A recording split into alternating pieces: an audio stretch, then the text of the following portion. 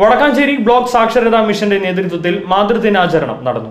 ദിനാചരണ ചടങ്ങിൽ തുല്യത അധ്യക്ഷ സബിതാ നന്ദൻ അധ്യക്ഷയായി. മാതൃദിനത്തെക്കുറിച്ച് K P S T A സംസ്ഥാന സെക്രട്ടറി ഷാഹിദ റഹ്മാൻ ക്ലാസ് എടുത്തു. സജിത ടി എൽ സ്വാഗതം പറഞ്ഞു. തുല്യത അധ്യാപിക സുനിത തങ്കം എന്നിവർ ആശംസകൾ നേർന്നു. Plus two leader George Princy നന്ദി പറഞ്ഞു.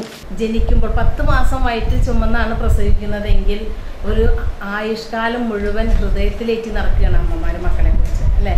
ഇതിലിരിക്കുന്നവരെല്ലാവരും മക്കളാണ് പലരും അമ്മമാരാണ്.